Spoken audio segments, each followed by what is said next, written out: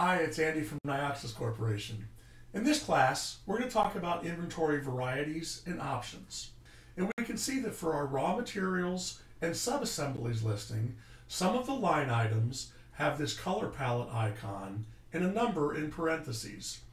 This color palette icon tells us that there are varieties to this particular raw material or this particular subassembly.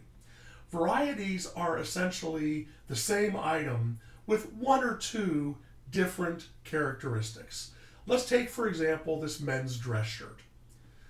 The SKU is A4365. It's a men's dress shirt with a cost of $8 and a 200% markup, giving us an MSRP of $24 per unit. However, there are five varieties for this particular item. The varieties are designated by size. That's the characteristic that differentiates one item from another. Here we see the A4365 SKU with the tag LG for large, and we also have medium, small, extra large, and extra extra large varieties. Five different varieties of the same item where the only difference is this change in the size characteristic. Now you have the option for each variety to set a unique price. In this case, we can see that the men's dress shirt generically is sold for $24 a unit. That's a 200% markup over an $8 cost.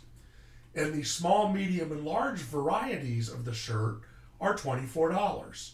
We see, however, a $4 premium for the extra large variety and an $8 premium for the extra, extra large variety. We can make this happen by changing the standard markup.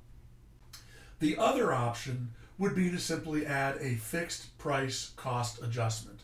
Let's look at a very different type of raw material, and that is a four cylinder engine. This four cylinder engine is part of a drivetrain subassembly that goes into a passenger automobile. This particular product varies by output.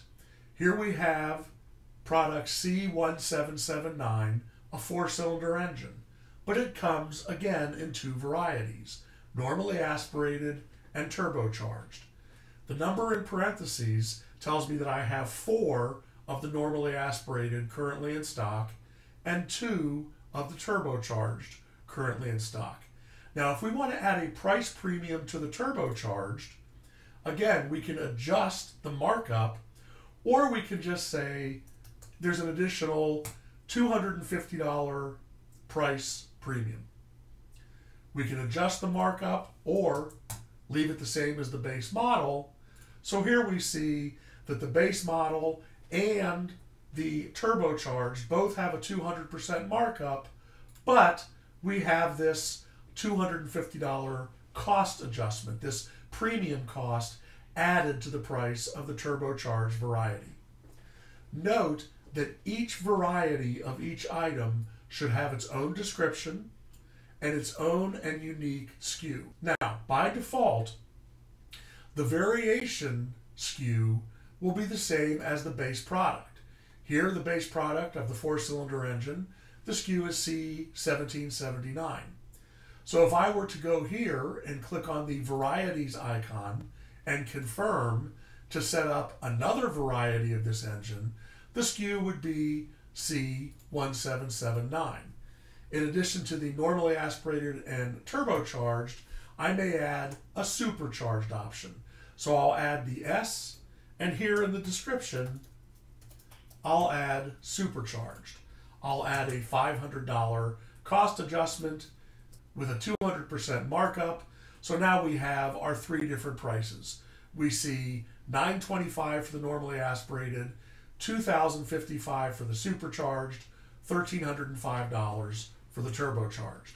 We see that the SKU and the item description are unique. This will be very important when we take this product or subassembly and move it into our sales product catalog. As is the case with all raw materials, subassemblies, and finished goods, we have the option to activate or deactivate the product. And for raw materials and subassemblies, we have the option to include it or not include it in our sales catalog. We'll talk more about the finished goods in our sales product catalog in training class 444. That's it for varieties. Just remember that the icon tells you there are varieties for a product. The number in parentheses tells you how many different varieties. And by clicking on the base item, you can see all of the different varieties. Different items may vary by size, color, design, output, or if they're personalized, you can indicate that with this tag here. Maybe you have a particular garment that has the option of having the buyer's initials put on the sleeve. This would be the option to personalize an item. Also keep in mind that some varieties vary based on characteristics added by the supplier of the item. Others may be based on modifications you make in house. Taking that personalized example, you may purchase the shirts from a supplier and then add the initials or the monogram upon purchase by a particular customer. That would differ maybe from our engine varieties where they come from the factory already supercharged or turbocharged. The stock supplier the OEM supplier provides the different varieties.